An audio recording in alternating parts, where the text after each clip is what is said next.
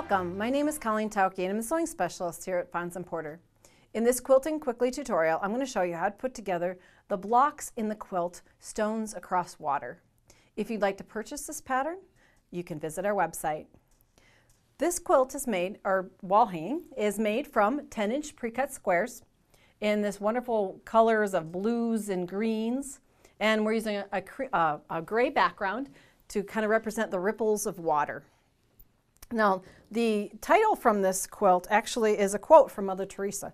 So, um, alone I, can change, I cannot change the world, but I can cast a stone across the waters to create many ripples. So let's create those many ripples. The quilt is then made, we're going to go through those 10 inch squares, and we're going to cut the required number of four and a half inch squares and two and a half inch squares from each of them. The nice part about this is you don't have to go out and gather all of the different colors using a pre-cut pack because that part's already been done for you. They're coordinated beautifully. So here we've got two, um, four and a half, and um, eight of the two and a half inch squares. Those are going to be used to create flying geese units. And I'm going to show you with a chevron shape that we're going to be working toward. So you of have an idea. We'll set that, that off to the side. We're going to be using a method where you're going to be creating two different combinations. You've got a turquoise background and a gray background, and you're going to match up with those uh, smaller squares of the opposite color. So it's a kind of a mismatch, large, small, large, small. So from those, we are going to create the flying geese blocks. Let's walk through those steps you need to have one of the background fabrics. It's going to become the triangle, kind of the goose shape, as you see right here. So we're going to take, for each of the large, you have four small.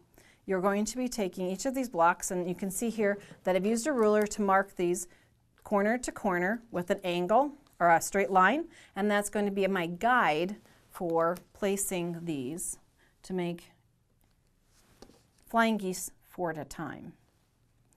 Now you can see that if I place those properly, that line now extends all the way across the block. This is my guide. I'm going to be sewing one quarter inch to each side of that line.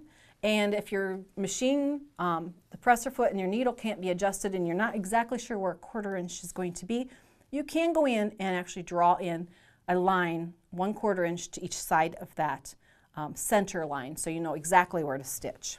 I'm going to bring in one that's already stitched. You can see here in bright red, you would be using a gray or a, a, cream color thread, but we've done it in red for your advantage. So you can see that that's stitched. And then we're going to come down through the center there where that diagonal was, and we're going to cut these apart. So you can use the scissors. I can come in and simply cut right down the middle. It doesn't have to be exact. We don't need to use a rotary cutter. Scissors works fine. This is just the seam allowance.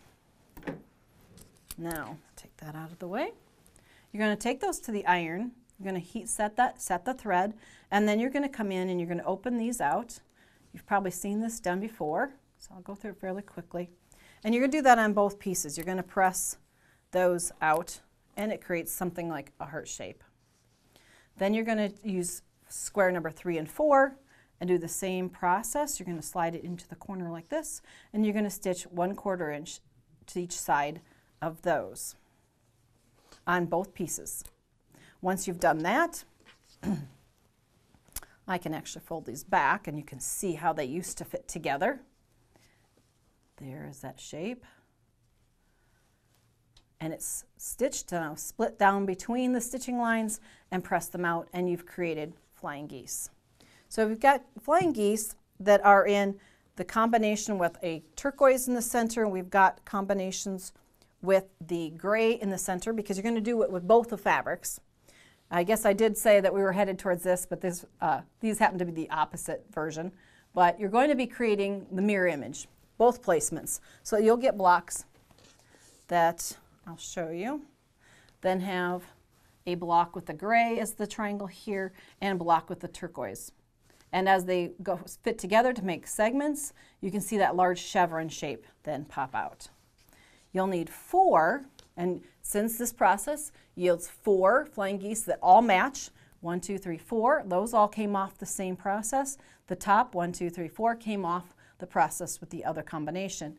Then you're going to match them up so you get these nice chevron shapes. And then it's all about placement for this quilt. um, as we're creating those, I do want to step back one step. I almost forgot about the trimmer. These are slightly oversized. Um, flying geese blocks tend to get a little wonky as we sew them because we're working with bias directions of stitching. So there is a tool that you can use to go in and trim those blocks up.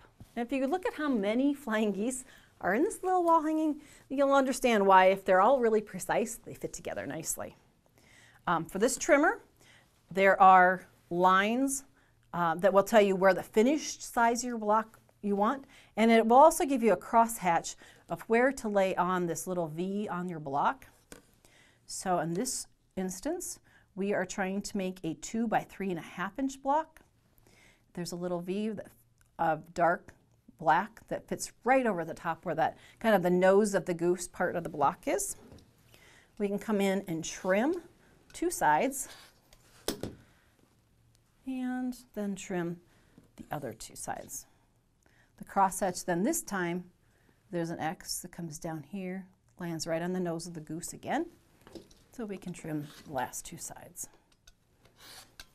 Some people don't like using trimmers, but if you've ever had to try and fit a lot of flying pieces together to make a design, mm, you might find that you like trimmers in the end, because that's how we get this nice, neat looking block like this. Now, in order to create the design, you can see that they interlock. For example, this blue interlocks with a gray. So that means that there's a diagram in our pattern that will show you exactly where to place each of the pieces so your interlock works perfectly. The background is cut uh, gray squares so that you can fill in that space and create that ripple stones across water for yourself. If you'd like to see more of our Quilting Quickly tutorials, please visit our website. Thanks for joining me today.